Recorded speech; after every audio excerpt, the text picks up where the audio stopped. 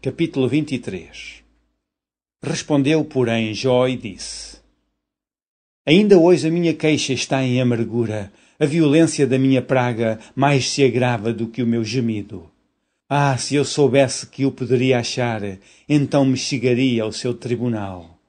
Com boa ordem exporia ante ele a minha causa e a minha boca encheria de argumentos saberia as palavras com que ele me responderia e entenderia o que me dissesse. Porventura, segundo a grandeza de seu poder, contenderia comigo? Não, antes cuidaria de mim. Ali o reto pleitearia com ele e eu me livraria para sempre do meu juiz. Eis que, se me adianto, ali não está. Se torno para trás, não o percebo. Se opera a mão esquerda, não o vejo encobre-se à mão direita e não o diviso. Mas ele sabe o meu caminho, prove-me e sairei como o ouro. Nas tuas pisadas os meus pés se afirmaram, guardei o seu caminho e não me desviei dele.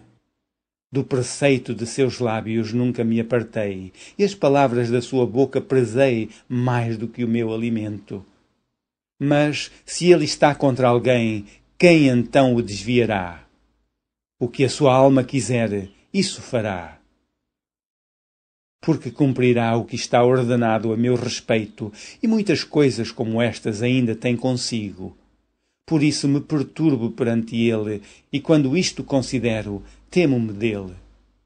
Porque Deus macerou o meu coração, e o Todo-Poderoso me perturbou. Porquanto não fui desarraigado antes das trevas, nem encobriu a escuridão o meu rosto